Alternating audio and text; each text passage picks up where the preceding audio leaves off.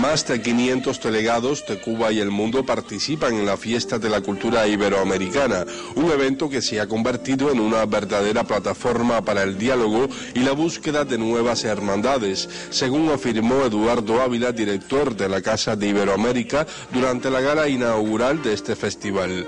En el encuentro, los holguineros ofrecieron un gran espectáculo a los delegados extranjeros con interesantes propuestas danzarias y de arte lírico de esta región del país.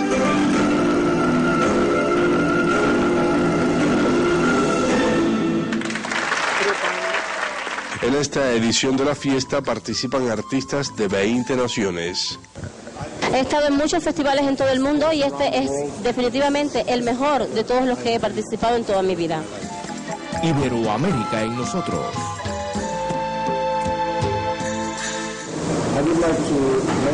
Otra cosa que quisiera añadir es la excelente organización la gente, la calidad de la gente. Estamos aquí más de 100 personas de mi, de mi nación para compartir el festival y nos sentimos como en casa.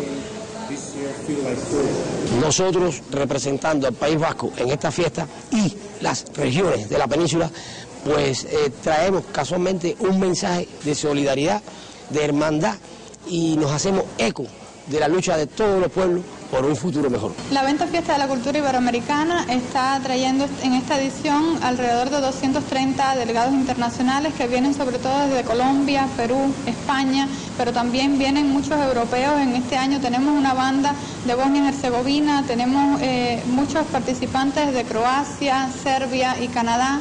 Eh, principalmente están nutriendo todos los espacios de la fiesta. Hay delegados que vienen al Centro Cultural Ibérico, hay delegados que vienen además para el Centro Cultural América Latina. Entre ellos podemos comentar que tenemos la, la danza Caleidoscopio, que viene desde Colombia a mostrar sus obras en estos espacios y en las plazas abiertas.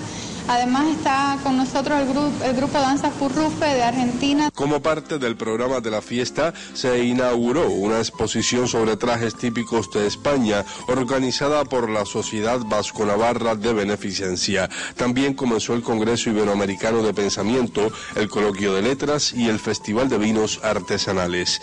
Dani González Lucena, Sistema Informativo de la Televisión Cubana.